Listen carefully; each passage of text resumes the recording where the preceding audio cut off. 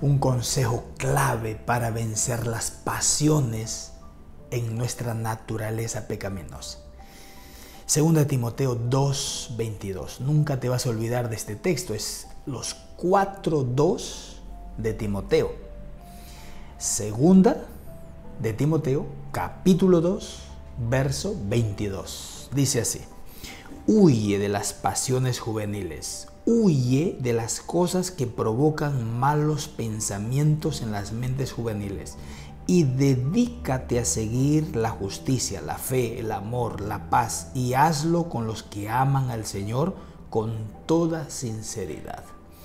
Mira, el primer verbo, huye, huir. Huir es escapar, cambiar, cerrar, bloquear, eliminar.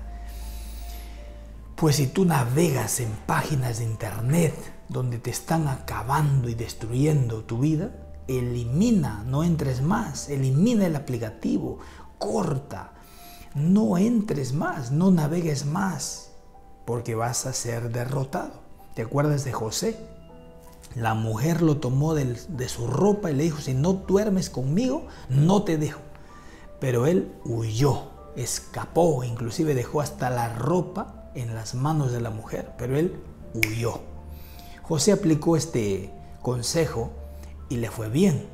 Nosotros también, querido, querida, tienes que huir. Por ejemplo, si amas la bebida y tienes amigos que aman y te juntas con ellos, pues vas a caer.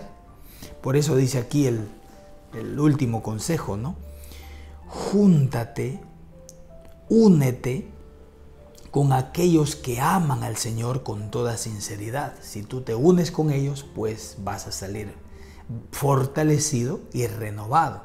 Pero no es solamente huir.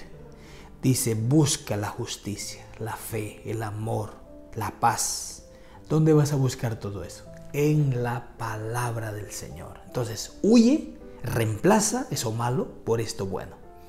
Y así tú vas a recibir fuerzas y serás vencedor. Adelante con esperanza.